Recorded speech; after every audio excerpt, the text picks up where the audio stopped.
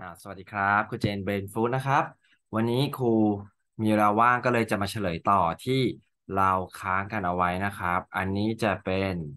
T-set นะครับ หรือบางคนอ่าน T-set นะครับ ของชั้นป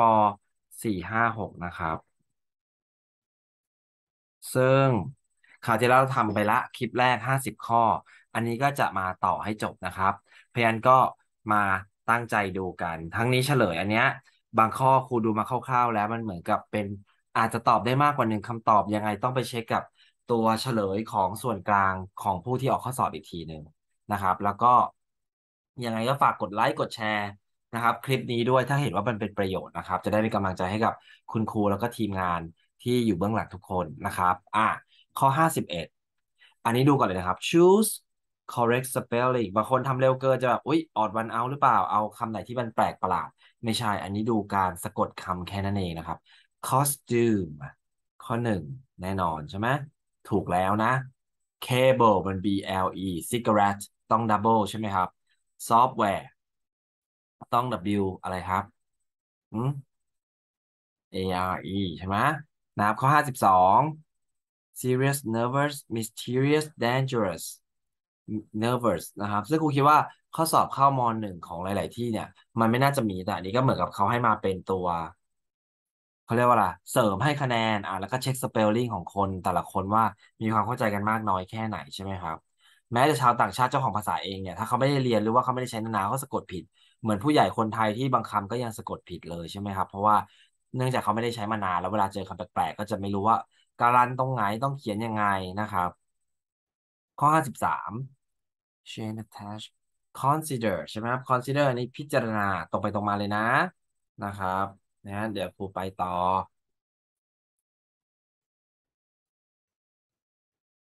อันนี้ตัวข้อสอบมีให้ดาวน์โหลดในเว็บไซต์ของตัวผู้จัดสอบแล้วนะครับ สามารถเข้าไปดาวน์โหลดได้นะครับ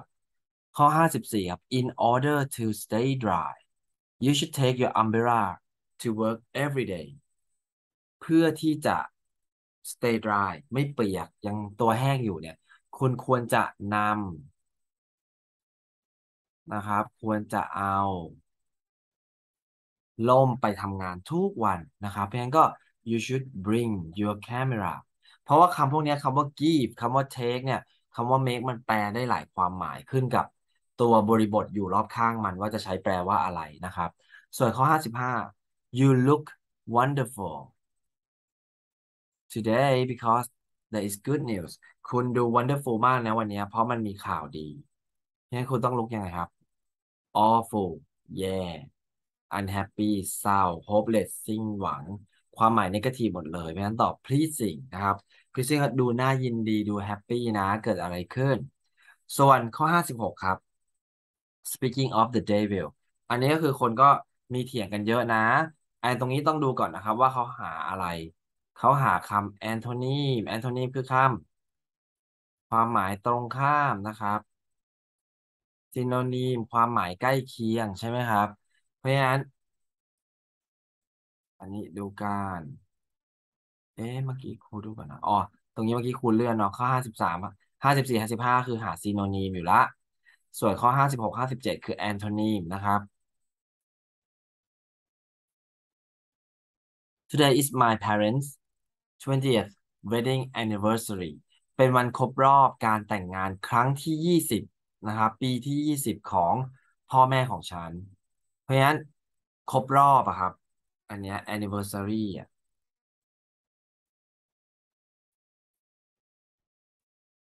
เพราะฉะนั้นขึ้นกับข้างหน้ามาเลยนะ อันนี้ wedding anniversary คือคนใช้ส่วนมากคือครบรอบแต่งงาน แต่บางคนแบบครบรอบวันที่ฉันไปเอาหมาหมาตัวนี้แมวตัวนี้มาเลี้ยง ครบรอบ สามปีที่เราคบกันมาอะไรอย่างเงี้ยครับ มันก็จะใช้เป็น anniversary ได้หมดเลยคำตรงกันข้ามจะเป็นอะไรดีล่ะ incident เหตุการณ์ celebration เฉลิมฉลองเฉลิมฉลอง ครูก็จะว่ามันไม่ใช่แน่นอนใช่ไหมครับ memorial memorial คือเป็นอนุสรณ์สถานเป็นที่ระลึกกับ funeral funeral คืออะไรครับ funeral คืองานศพนะ เพราะฉะนั้นเนี่ย ครูก็เลยว่า เฮ้ย คนก็จะเถียงกันว่าจะเป็น funeral หรือเป็น memorial นะครับ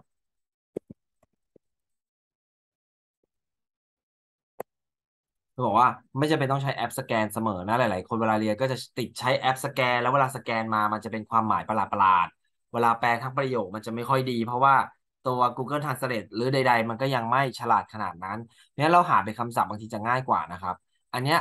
เป็นที่ระลึกเป็นอนุสรณ์ something especially a structure established to remind people of a person or event นะครับ เป็นอนุสรณ์สถานทำไว้เป็นที่ระลึกอะนะครับ เพราะฉะนั้นเนี่ย อันนี้ครูก็ยังว่า เฮ้ย memorial กับ anniversary มันก็จะว่าเป็นตรงกันข้ามกันไหมก็เหมือนมันจะได้นะ แต่ว่าถ้าครบรอบอย่างเงี้ยครูว่าคำที่มันความหมาย contrast กันกว่าก็คือแบบ funeral funeral เนี่ยมันแปลว่างานศพนะครับ แต่ว่าถ้า anniversary ครบรอบ แล้วส่วน memorial นี่คือสร้างไว้เป็นที่ระลึกนะครับเช่น เราจะเรียกว่า memorial bridge สะพานที่สร้างไว้เป็นที่ระลึกให้กับรัชกาลที่ 5 รัชกาลที่ 6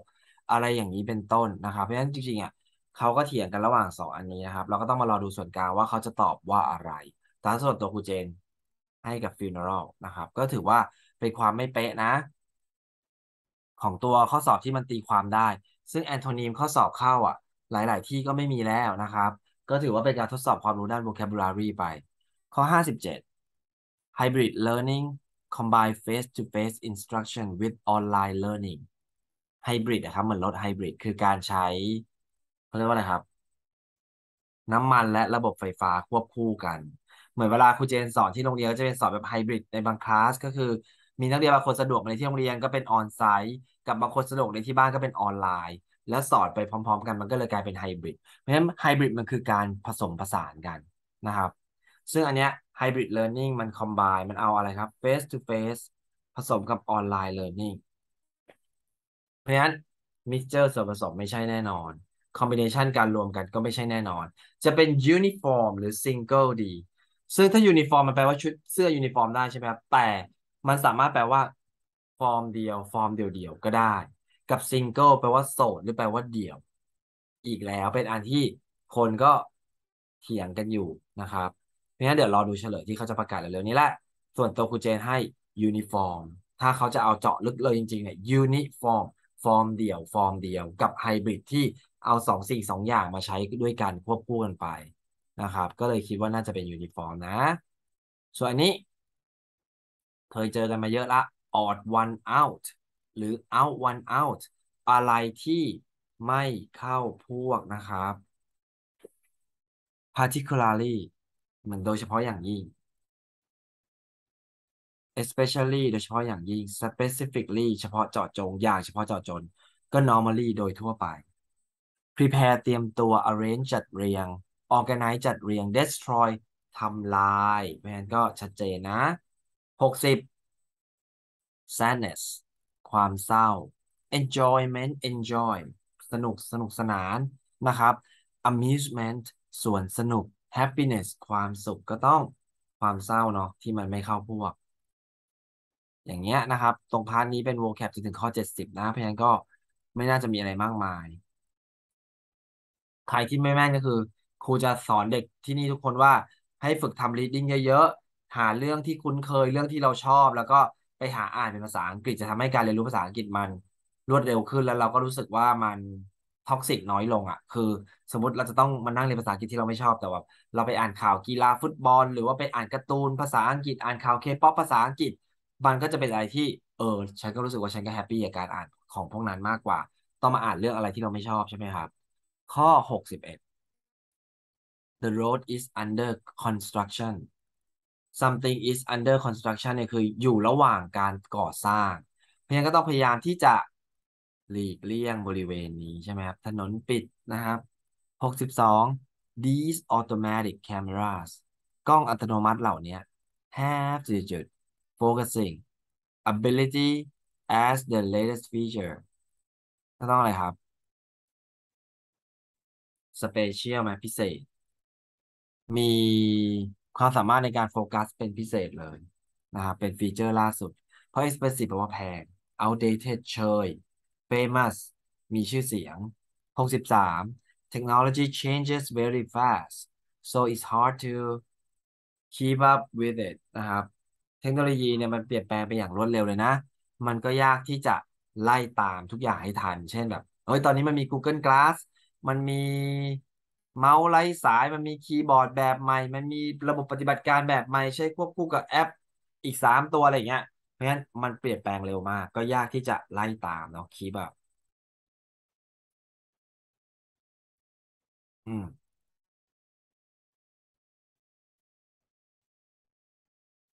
ข้อหกสิบสี่ before you enter the theater ก่อนที่จะเข้าโรงหนังกรุณาอะไรครับ ตั๋ว ก็ต้อง purchase นะครับ purchase เนี่ยเท่ากับ buy ที่แปลว่าซื้อเลยนะครับ ก่อนเข้าโรงหนังกรุณาซื้อตั๋วที่เคาน์เตอร์ก่อนนะครับ เราคงไม่ขอยืมเราคงไม่อัพโหลด ข้อ 65 I was delightful ฉันรู้สึกยินดีมากที่ได้ดู TikTok ซึ่งมันทำไมครับ which was ก็ต้องฉันรู้สึก delightful อะ ไปด้วยกันก็ต้อง amazing นะครับ when you travel to different places ตอนที่คุณเดินทางไปหลาย ๆ ที่ you will get some อะไรครับ experiences ก็ต้อง valuable มันมีคุณค่านะครับ reasonable เป็นเหตุเป็นผล comfortable สะดวกสบาย walkable เดินได้ดังนั้นก็ valuable ดีที่สุดนะครับ ได้บทเรียนที่แสนมีค่า จากการเดินทาง seeing everyone eating had made me การเห็นทุกคนกินนะมันทำให้ฉันอยู่ในจุด hungry ทำให้ฉันหิว and I wanted to have some ก็ต้องอะไรครับ had made me extremely hungry นะครับหิวเป็นพิเศษอืม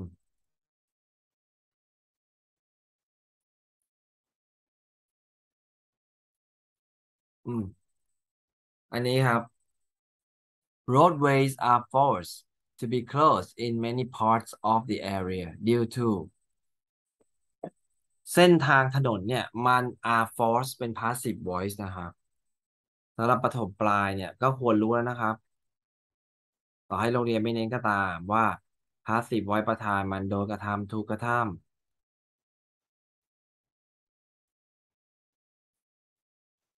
ถนนถูกบังคับให้ต้องปิดหลายส่วนเลยในบริเวณเนี้ย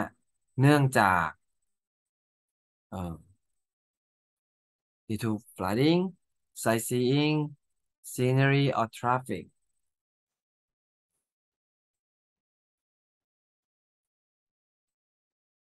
อืมก็ต้องอะไรครับ ก็ถูกปิดหลายที่เลยอะ ครูคิดว่าจะต้องเป็นอะไร flooding น้ำท่วมนะ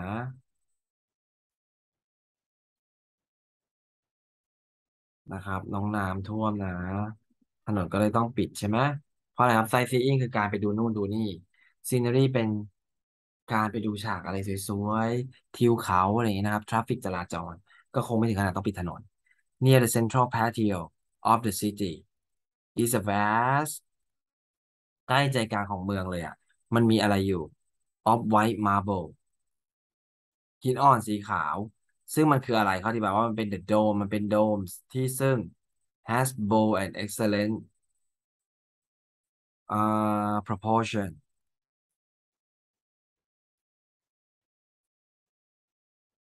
ต่างอะไรบ้าง is a vast statue of white marble หินอ่อนสีขาวอะครับอะ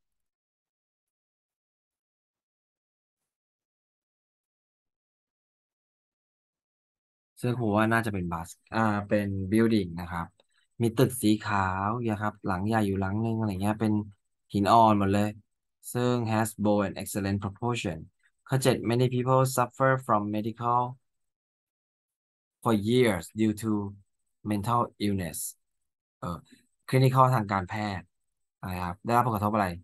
ต้องเป็น clinical depression เนาะ ความเครียดนะครับ เป็นเวลาหลายปีเนื่องจาก อ่า mental illness ภาวะสุขภาพจิตที่ไม่ดี อืม ตรงไปตรงมา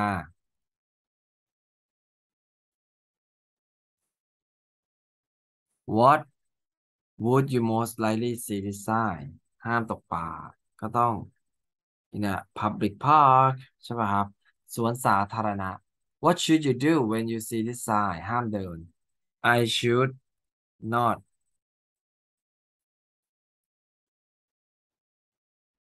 when you see this sign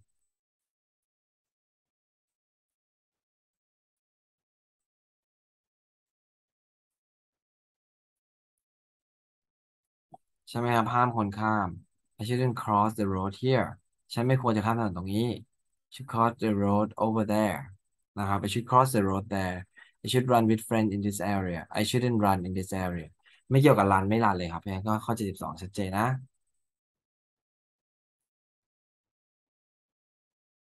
อืม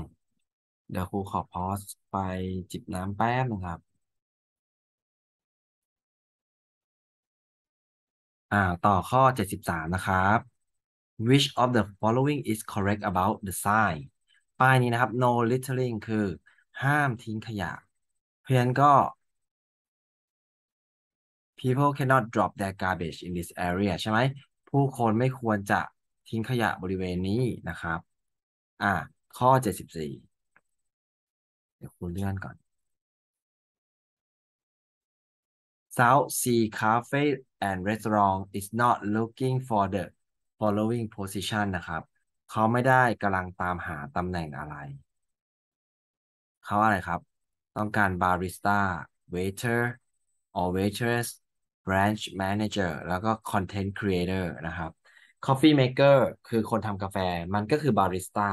เพราะนี่ใช่นะครับ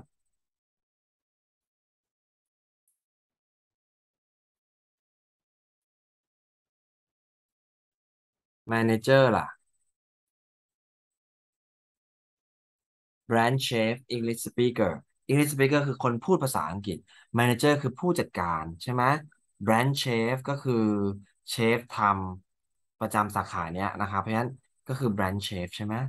English speaker ความจริงว่าก็เป็น choice ที่ไม่ดีนะ แต่เขาก็ต้องการทุกคนที่มี good command in English ใช้ภาษาอังกฤษได้ดีนะครับเพราะฉะนั้นก็ต้องเป็นตามนี้ branch chef มันไม่ใช่กว่า 75 ครับ from the following picture which sentence is not true นะครับ many toys are in the box ใช่ helicopter อยู่ถัดไปจาก maracas นะครับ maracas นี่ก็คือ ไอเช็คเช็คอะนะครับ ก็ถูกใช่ปะ a ball is behind the xylophone ลูกบอลอยู่หลังไซโลโฟนก็ถูก a truck is inside the box no มันอยู่ behind หรือไม่มันก็อยู่ข้างๆ ใช่ไหมเพราะฉะนั้นตอบสีชัดเจนนะ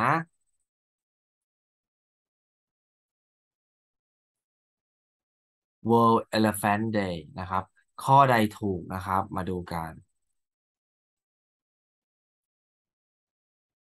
Student need to bring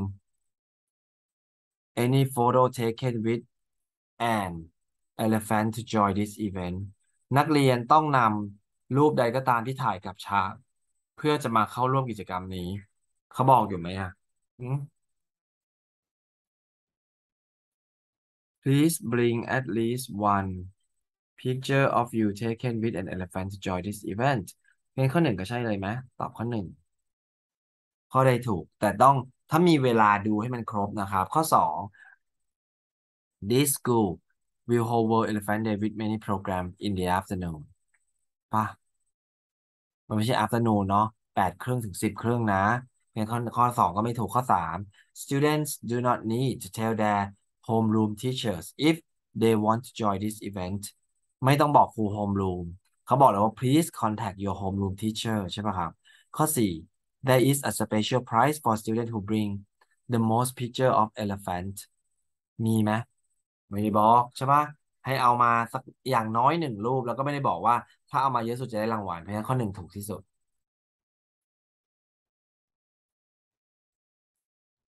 ข้อ7 7 9 14 short passages นะครับ เป็น passage เล็กๆ อันนี้ข้อความที่หนึ่งถ้าใครอ่านภาษาคาราโอเกะง่ายก็จะสบายไปเลย ผีตาโขน festival นะครับ according to the passage what is the other name of ผีตาโขน festival ก็ตึ๊ดตึ๊ดตึ๊ดตึ๊ดอีกชื่อหนึ่งนะ dress up in ghost mask ใส่หน้ากากผี ซึ่งเป็น actual translation of the festival name ก็เป็นชื่อของ festival เลยอะนะครับ เพราะฉะนั้นก็ต้องเป็น Ghost Mask Festival ไหมนะครับ Rocket จรวด อันนี้น่าจะต้องเป็นพวกบุญบั้งไฟใช่ไหม Sticky Husk Festival Handcrafted Mask เทศกาลทำหน้ากากอะไรเงี้ยไม่ใช่นะครับ เพราะฉะนั้นตอบข้อหนึ่งนะ Ghost Mask Festival How many days do people celebrate this festival สำหรับประถมปลายจริงๆเนี่ยผมว่าง่ายในหลาย ๆ โรงเรียนหลาย ๆ ข้อสอบเลยนะครับ เพราะว่า reading อะมันสั้น ๆ แล้วมันก็แค่หาว่ามันอยู่ตรงไหนมันดูดีเทล สำหรับระดับมัธยมหรือมหาลัยจะยากกว่า เพราะว่าเราต้องวิเคราะห์ แล้วเป็นคำถามที่มันไม่ได้ถามแบบตรงไปตรงมา ส่วนนี้ก็บอกกี่กี่วัน three day festival ชัดเจนเนาะตอบ ข้อสาม three days in which part of Thailand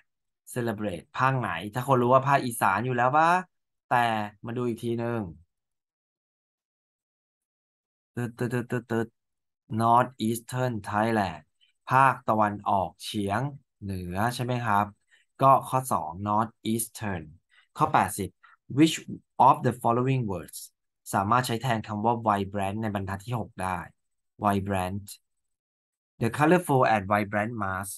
หน้ากากที่มันสีสดใส สีมากมายอะไรครับ vibrant แปลว่าชัดเจนอะไรเงี้ย มีชีวิตชีวาเพราะงั้นก็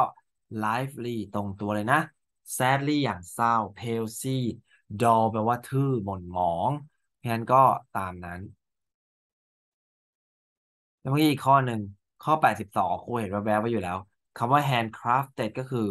ศิลปะหัตถกรรมสิ่งที่ทำด้วยมือนะครับ ความหมายเหมือนกันกับอะไรก็ต้องเป็นของที่มันเป็น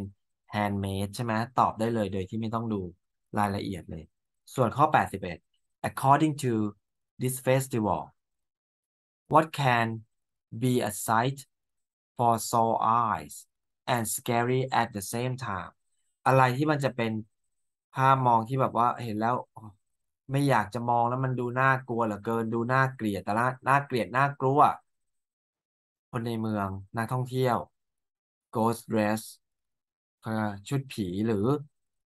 หน้ากากผีคูว่ามันไม่สองก็สี่ใช่ไหมแล้วถ้าเกิดเราดูเมื่อกี้ mask mask mask mask แปลว่าหน้ากากก็น่าจะเป็น ghost mask ข้อสี่ แต่เพื่อความชัวร์มาดูในนี้อีกทีหนึ่งอืม saw eye scary at times ก็ mask ใช่ปะล่ะหน้ากากตรงตัวเลยนะครับ แล้วก็ต่อไป ancient city นะครับ อันนี้เยอะหน่อยนะ เขาเปิดเมื่อไร แล้วก็ which type of tourist should visit this place คนแบบไหนที่ควรจะไปเที่ยวที่นี่ เขาเปิดวันไหนอะเป็นการแบบหาข้อมูลทั้งนั้นเลยนะครับ ซึ่งครูว่ามันไม่ยากเลยมาดูกัน เขาอะไรครับ Open Daily เปิดทุกวัน เหมาะกับคนแบบไหน all nation and age groups of generation to come ก็คือสำหรับผู้คนได้ทุกประเภทเลยทุก ทุกประเทศทุกชาติ หลากหลายเชื้อชาติ หลากหลายอายุมาได้หมดเลยเหมาะกับทุกเพศทุกวัยนั่นเอง เพราะฉะนั้นข้อ 83 ก็ everyday ใช่ป่ะครับ ส่วนข้อ 84 ก็ต้อง all people เหมาะกับทุกคนนะครับ ส่วน 85เขาบอก it's ในบรรทัดที่ 9 หมายถึงอะไร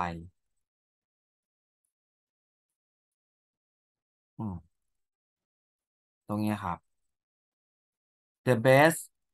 representation of how Thai people once lived is preserved in the park environment and its architectures นะครับ การแสดงให้เห็นที่การจัดแสดงที่ดีที่สุดเลยนะครับ ว่าคนไทยนะครับ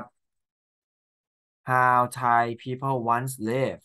คนไทยเคยอยู่ยังไงในอดีตใช่ไหมครับ มันถูก preserve มันถูกเก็บรักษาอนุรักษ์ไว้ใน ส่วนนี้นะครับ ในพาร์คนี้ใน in the park environment ทั่วๆไป ให้เห็นชีวิตความเป็นอยู่ของคนไทย และ its architecture แล้วก็เขาเรียกว่าอะไรนะประติมากรรมของมัน ก็ต้องของส่วนอันนี้ไหมของที่นี่ไหมน่าจะเป็น ancient city ไหมนี่ยังไม่ได้ดูช้อยนะครับ the ancient city ถ้าครูเดาง่ายมันก็เหมือนเป็นเมืองโบราณเป็นอะไรอย่างนี้ใช่ไหมครับ นี่ต้องตอบ The Ancient City มีเลยจบข้อสามนะครับ ส่วนข้อ 86 Tourists can do many things when they visit ยกเว้นอะไรครับ สามารถทำได้หลากหลายเลยนะ ยกเว้นอะไร เราดูช้อยก่อนก็ได้ดูคร่าวๆเมื่อกี้เราก็เดาได้แล้วว่ามันเป็นเรื่องเกี่ยวกับ การให้ข้อมูลเกี่ยวกับสถานที่แห่งนี้ create their own fine arts and craftsmanship สร้างสรรค์ศิลปะหัตถกรรมนะครับอ่า ด้วยตนเองทำเองได้สร้างได้หรือเปล่า ถ้าอย่างนี้เช่น การแบบมานั่งถักไหมพรมหรือว่าทอผ้าไหมอะไรอย่างนี้ไหมส่วนข้อ 2 เรียนรู้เกี่ยวกับ heritage ร่างเงาความเป็นไทยนะครับ ข้อ 3 appreciate the continuity ชื่นชมกับความอะไรครับอืมประวัติศาสตร์ และวัฒนธรรมที่มีอย่างต่อเนื่อง กับเรียนรู้เกี่ยวกับ wide range of architectural symbols เรียนรู้กับสัญลักษณ์นะครับ ของความเป็นศิลปะหัตถกรรม ครูเดาได้เลยว่าน่าจะเป็นข้อหนึ่งนะ ลองดูนะ เขาทำอะไรบ้าง allow you to uh, learn through traveling เรียนรู้ผ่านการท่องเที่ยว we มีอะไร strong sense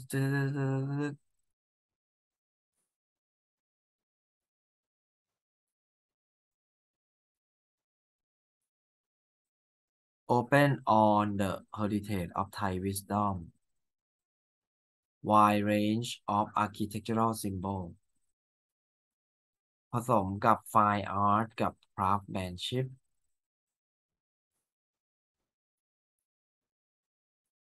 แล้วก็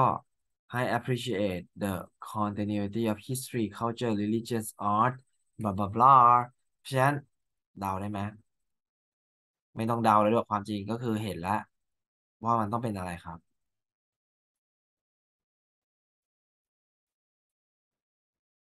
อันนี้ต้องเป็นข้อหนึ่งเขาไม่ได้ให้นักท่องเที่ยวไป สร้างสรรค์ศิลปะหัตถกรรม แต่ให้เข้าไปชื่นชมนะครับเั้นตอบหนึ่งนะ ข้อ 87 which of the following word can replace the word induce นะครับ induce แปลว่าอะไรครับเหนี่ยวนำชักนำอะไรอย่างนี้ก็ได้นะ แต่ลองมาดูในคอนเท็กซ์สิ The ancient city create kind of atmosphere มันสร้างสรรค์บรรยากาศที่ induce ครับ ชักนำเหนี่ยวนำให้นักท่องเที่ยว to perceive and appropriate and appreciate the quantity of history นะครับทำให้นักท่องเที่ยวเนี่ย รับรู้แล้วก็เรียนรู้เกี่ยวกับประวัติศาสตร์ความเป็นมาของประเทศไทยอย่างนี้ไหมนะเพราะฉะนั้น ต้องเป็นอะไรครับ อันนี้ ancient city สมุทรปราการก็คือเมืองโบราณสมุทรปราการนั่นเองเดี๋ยวผมเปลี่ยนปากกาอะเพราะฉะนั้น induce ก็โปรโมทดีที่สุดใช่ไหมโฆษณาประชาสัมพันธ์ lose หายสูญหายใช่ไหมหรือ lose แปลว่าแพ้ destroy ทำลาย stop หยุด ความหมายต่างกันเลยนะครับเพราะฉะนั้นข้อ 2 แน่นอน แล้วก็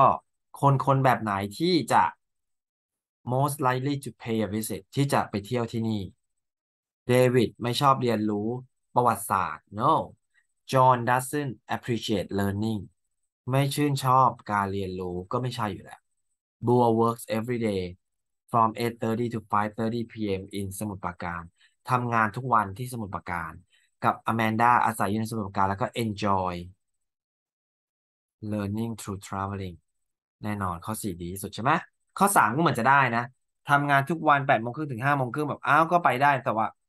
ข้อ4เนี่ยเขาชอบด้วยนะครับ อาศัยอยู่ที่นี่ด้วยแล้วก็ชอบด้วยเพราะฉะนั้นชัดเจนกว่าเนาะอ่าข้อ88ละใกล้นะครับ papaya salad มีรูปให้ดูด้วยก็คือ ส้มตำนั่นเองใช่ไหมนะครับ following are อันเนี้ยชัดเจนเลยนะ มีหลายคนผิดด้วยนะครับ อะไรที่เป็น main ingredient ส่วนผสมหลักนะครับ soak papaya มีบอกใย reading นะ คือเขาเรียกว่าอะไรมะละกอที่แบบโซกอะชุ่มเปียกแฉะอะไรหน่อยใช่ไหม garlic chilies กระเทียมพริก palm sugar น้ำตาลฝาน้ำตาลปึก ข้อสองอะ mortar กับ pestle ถ้าเรารู้คำศัพท์นี้ง่ายนะครับ mortar กับ pestle ก็คือ ครกกับสากครกกับสากมันไม่ใช่ ส่วนผสมใช่ไหมมันเป็นอุปกรณ์ในการทำเพราะฉะนั้นตอบข้อสองได้เลยสำหรับคนที่รู้คำศัพท์ ถ้าไม่รู้ก็ต้องเดากันหน่อยละเพราะว่าความจริงเขาก็บอกสี่อันนี้อยู่ใน reading หมดเลย แต่เรารู้หรือเปล่าเราว่ามันคืออะไรใช่ป่ะครับ นอกจากการเดาโดยการตัด choice ข้อ 90 what does chunks in step 2 refer to ชังหมายถึงอะไรนะครับ in a large mortar and pestle ในครกพาวกระกาลิกตำนะครับ กระเทียมและพริก จนกระทั่ง there are no more big chunks ชังแปลว่าก้อนใหญ่ ๆ จนมันไม่มีชิ้นใหญ่ ๆ อยู่ ซึ่งก็บอกว่าเป็นแบบว่า ผิวของพริกเหลืออยู่บ้างอะไม่เป็นไรนะ แต่ว่าตำให้มันแหลกตำให้มันละเอียดหน่อย เพราะฉะนั้น chunks อันนี้ก็อะไรครับกาลิกกับชิลลี่ใช่ไหมนะครับ ส่วนข้อ 91 ครับ it ในสเต็ป3หมายถึงอะไร until it turn add palm sugar ใช่ปะเติมน้ำตาลฝาน้ำตาลปึก แล้วก็เขาเรียกว่าอะไรครับตำนะครับจนกระทั่งมัน turn into a wet paste จนมันกลายเป็นเหนียวเหนียวเปียกๆนะครับ and all the chunks are dissolved แล้วก็ที่มันเป็นก้อนๆละลายก็คือตัวน้ำตาลนั่นแหละ เพราะฉะนั้นมันก็ต้องหมายถึง palm sugar ดูซิว่ามีใน choice ไหม มีครับตอบข้อ2ได้เลย palm sugar นะครับ ข้อ 92 what can make papaya salad have extra lime fragrance B กลิ่นมะนาวเพิ่มเป็นพิเศษ ใครเป็นขากินส้มตำนี่ก็สบายใช่ไหมแต่ไม่มีแค่หาคำเหมือนครับ extra lime fragrance นะครับ เจอไหมข้อสอบที่ดีมันจะไล่จากบนลงล่างอยู่แล้วนะ for extra lime fragrance นะครับ add fish sauce เติมน้ำปลา เติม tamarind juice น้ำมะขาม lime juice น้ำมะนาว adding the squeezed lime skin into the mortar as well นะครับ เติมเขาเรียกว่าใส่ squeezed lime skin มะนาวบีบแล้วใส่เข้าไปตำด้วยนะครับ ใส่ไปในครกเพื่อได้กลิ่นมะนาวเพิ่มเป็นพิเศษ บางทีก็เป็น representation ดูว่าให้มันดูน่ากินอะไรอย่างนี้ใช่ไหมครับ เพราะฉะนั้นเนี่ยข้อ 92 ก็ต้องตอบข้อ 4 ใช่ไหมอย่าดูเร็วๆ แล้วตอบข้อ 3 นะ เพราะว่าอันนี้ต้องเป็น lime skin which of the following word cannot replace remaining อันนี้ถ้ารู้นะ remaining แปลว่ายังคงเหลืออยู่อะ เพราะฉะนั้น unused ที่ไม่ได้ใช้ leftover ที่เหลือไว้ spare คือสำรอง staying คือการอยู่ จะเอาอะไรดีอะเออไหนลองดูในคอนเท็กซ์สิว่าคำว่า remaining หมายถึงอะไร plate and sprinkle is done ทำเสร็จแล้วนะครับ ก็จานนะครับ เอาจานมา and sprinkle with the remaining peanuts sprinkle แปลว่าโรย โรยด้วยถั่วที่เหลือนะครับ ถั่วลิสงที่เหลืออยู่ เพราะฉะนั้นถั่วลิสงที่เหลืออยู่ ถั่วลิสง leftover peanut ก็ได้ unused peanut ถั่วที่ยังไม่ได้ใช้ spare peanut ถั่วที่สำรองเอาไว้ก็ถูกหมดเพราะฉะนั้นตอบข้อ 1 stay in นะครับ ส่วนข้อ 94 based on the recipe how should this meal be served อาหารจานนี้ควรถูกเสิร์ฟอย่างไรใช่ไหม นะครับ ตรงเนี้ยครูว่าข้อสอบมันก็แบบว่า จะหลอกละเอียดเยอะเกินจะทำให้มันดูงงเนาะตรงเนี้ย for a truly classic North Eastern Thai meal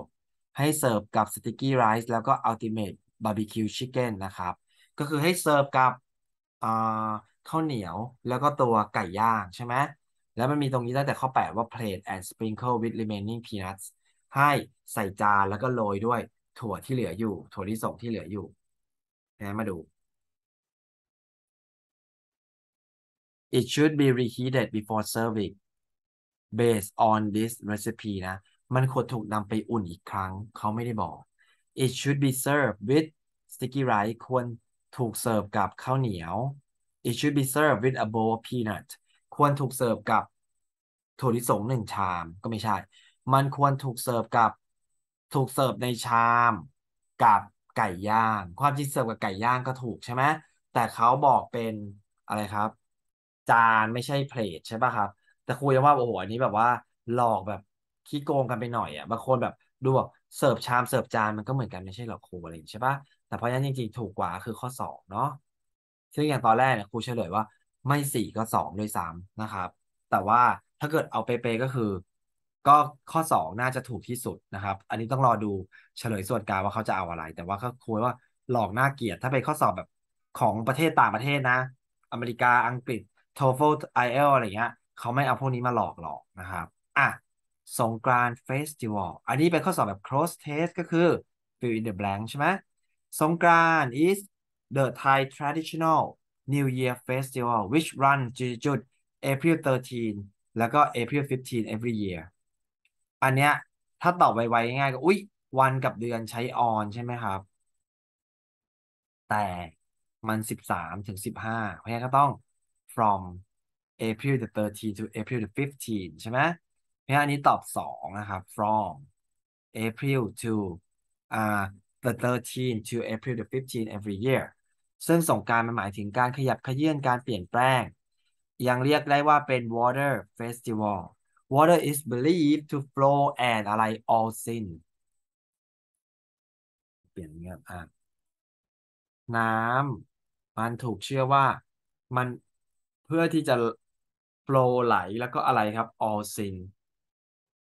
บาปทั้งหลายในช่วงเวลานี้นะครับ เพราะฉะนั้นตรงนี้ต้องเป็นอะไร flow and wash away all the sin ใช่ไหม แล้วก็ล้างบาปทั้งหลายไปนะครับ กับสายน้ำ in the Thai จุด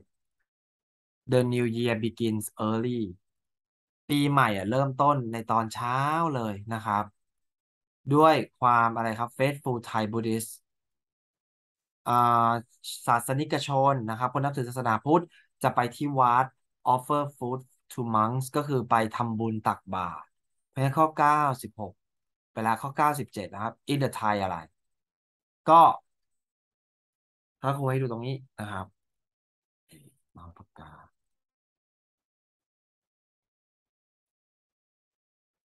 ไทยกฎหมายไม่ใช่สไตล์ก็ไม่ใช่เจ้า tradition หรือ history นะครับ ประวัติศาสตร์ไทยหรือขนบธรรมเนียมประเพณีไทยไม่งั้นก็ in Thai tradition น่าจะดีกว่านะครับ แล้วเมื่อกี้อันนี้คือสามและอันนี้ก็คือสองนะครับ อืมข้อเก้าสิบเจ็ดแล้วนะ in the Thai tradition นะครับ แล้วก็ตามขนบธรรมเนียมประเพณีไทย คนก็จะไปทำบุญตักบาตรถ้าเป็น history ก็คือเป็นประวัติศาสตร์เลยนะครับ ส่วนข้อ 98 อันนี้บอกไปปล่อยนกปล่อยปลานะครับ children and grandchildren will visit อะไรครับ pay respect เด็กๆ และลูกๆหลานๆ ก็จะไปเยี่ยมจุดๆ ไป pay respect to their elders and parents ไปแสดงความเคารพนะครับ ความนับถือกับผู้หลักผู้ใหญ่พ่อแม่ทั้ง98 ก็ต้องอะไรครับ and แม่ไปด้วยกันนะ will visit and pay respect นะครับ จะไปเยี่ยมแล้วก็ไปแสดงความเคารพนับถือกับญาติผู้ใหญ่ข้อ 98 แล้วก็ and in return the elders wish the good health ผู้หลักผู้ใหญ่ก็จะ wish them ใช่ไหม them อันนี้หมายถึงเด็กๆ grandchildren เด็กๆ ทั้งหลาย ผู้ใหญ่ก็จะอวยพรกับให้มีสุขภาพที่ดีมีความสุขความร่ำรวย this tradition เห็นไหมเปิดขนบธรรมเนียมประเพณีนี้นะครับ of paying respect จุดๆลดน้ำดำหัว ตรงนี้ก็ต้อง is called ถูกเรียกว่าพิธีการลดน้ำดำหัวเป็น passive voice นะครับเพราะเห็นว่าก็ไม่ได้ยากเลยนะครูว่าเนี่ย แต่ว่าจะมีหลอกเล็ก ๆ หลอกน้อยๆนะครับครูว่าหลาย ๆ คนที่ครูสอนถามเนี่ยก็คือทำเสร็จทันเวลากันหมดเพียงแต่ว่าจะมีพลาดกันบ้างบางจุดนะครับ เพราะฉะนั้นนี่ก็เป็นเฉลยที่ครูเจนทำนะครับยังไงก็ฝากติดตามแล้วถ้าเกิดมีข้อสงสัยตรงไหน คอมเมนต์ได้เลย แล้วก็ไปดูในเพจ Facebook ของทางโรงเรียนก็ได้ หรือติดตามกันใน YouTube ก็ได้นะครับเพราะงั้นวันนี้เดี๋ยวครูอนุญาตขอจบคลิปเพียงเท่านี้ก่อน แล้วก็ติดตามกันในคลิปต่อๆไปนะครับ สวัสดีครับ